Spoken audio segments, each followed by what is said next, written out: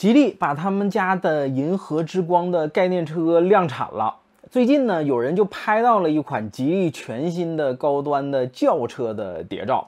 尽管车带着伪装，可看车头的造型，一下就能发现这是吉利的银河之光概念车的造型，几乎就是百分之百的还原了。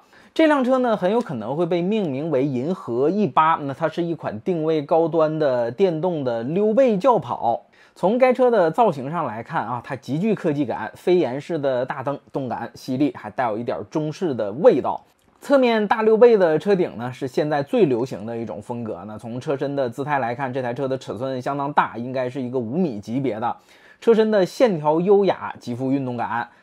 尾灯也和此前的概念车保持了一致，简约大气，点亮以后的效果相当的不凡。此前官方展示过银河之光的概念车的内饰是贯穿中控台的一个大连屏的设计，那现在看外观还原度这么高，内部还真有可能就沿用了概念车的那个风格。不过呢，现在还需要等待确认一下。动力方面，现在只知道它是纯电的，具体的性能官方也没有公布。据悉，这台车有望在成都车展亮相。那 E 八的定位比银河 L 六、L 七定位都要高一些，它可能会和非凡的 F 七这类车在同一个级别上。所以，如果你想要入手这个级别的车的话，那么这台车是可以关注一下的。